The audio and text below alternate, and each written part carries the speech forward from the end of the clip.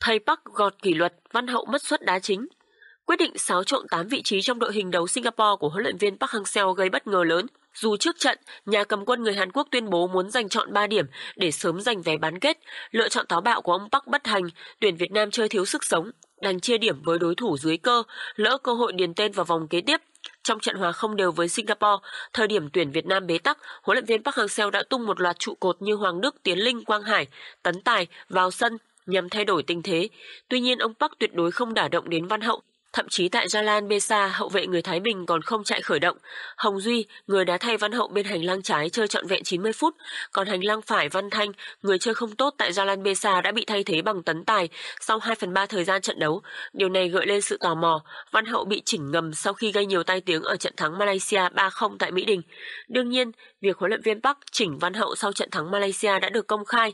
Chính ông Park phát biểu rằng ông đã nhắc nhở Văn Hậu không được đá thiếu kiểm soát như nhiều tình huống khiến dư luận chỉ trích trong trận đấu tại Mỹ Đình.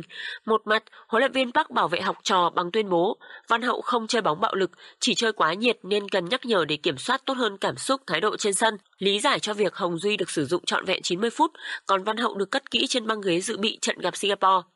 Cụ thể, ông Park muốn tận dụng kỹ thuật, những pha xuyên phá tốc độ nhanh của Hồng Duy để mở đường vào hàng thủ dày đặc của đội bóng Sư Tử Biển. Ở góc độ khác, ông Park muốn giữ sự tĩnh tâm cho Văn Hậu sau những ồn ào không đáng có, một khoảng lặng cần thiết để Văn Hậu điều chỉnh thái độ chơi bóng, nhất là khi hậu vệ người Thái Bình đã dính một thẻ vàng. Vì vậy, cần kiểm soát tốt thái độ chơi bóng, sự tỉnh táo, hòng tránh nguy cơ bị treo giò ở thời điểm then chốt nhất giải đấu, bán kết AFF Cup 2022. Lý do đưa ra đều có vẻ thuyết phục, nhưng sự tò mò nằm ở chỗ liệu Văn Hậu có giành được vị trí số 1 bên hành lang trái khi tuyển Việt Nam đấu Myanmar ở Mỹ Đình. Song phẳng mà nói tuyển Việt Nam đã nắm 90% khả năng giành vé vào bán kết bởi ưu thế điểm số lẫn hiệu số bàn thắng thua so với Singapore và Malaysia. Tuy vậy đội bóng của huấn luyện viên Park vẫn cần sự chắc chắn, đặc biệt là duy trì hơi cho đội hình chính khi bán kết đã cận kề.